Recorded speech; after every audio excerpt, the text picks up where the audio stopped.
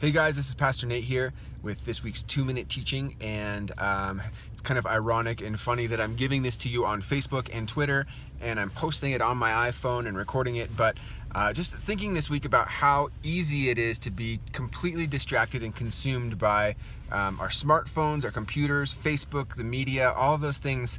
Um, just how you know you might have a couple extra minutes sitting there um, in between things that you're doing, and the natural response is to open up your phone and check your email, check your Facebook, check your Twitter account, check what's going on in the world, check the news, and we fill up every minute of our day with filling our heads with information about what's going on in the world or what our friends are doing or what somebody had for lunch or what you know all these different things. We're filling every second. And so the thing is is that when we do that we don't leave space for a relationship with god and when we are filling up every single minute and we're not leaving space for our relationship with God, what happens is we start to lose that relationship. Not that your relationship goes away, but it's really hard to have a relationship with someone when you're never giving any time to them. You're never listening.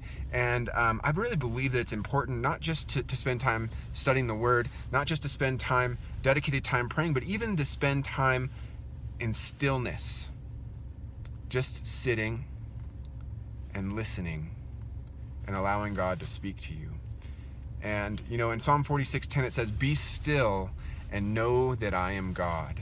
Be still and know that I am God. And what does stillness look like to you? Our lives are so busy, bustling around, going crazy, doing all these different things, and we may be running around like crazy or not.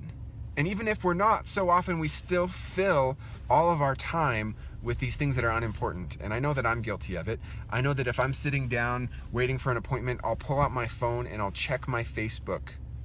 And I'll spend five minutes scrolling through what everybody is doing in the world. And I'm not saying that's a bad thing because I'm obviously using Facebook right now. I'm using Twitter or whatever. Uh, I'm not saying that's a bad thing to do because you can be encouraged, you can be built up in that way. But you need to leave room for Jesus. You got to leave room for the Lord, allowing Him to um, to, to work in your life, allowing Him to come and speak to you. And so um, go ahead and do that this week. I challenge you to do that this week. Take, take that next time that you just want to open up your phone when you've got a spare minute, take that time and spend it with Jesus instead. Just sit there in stillness. You don't even have to say anything to him. I challenge you just to be still before the God, before God. To not even to say anything, but just to sit there and let the Lord work in your heart in that moment. And so, um, hope you have a great day. Hope you have a great week. That's our two minute teaching for this week. So, be blessed. Have a great night. And I'll talk to you soon. Bye.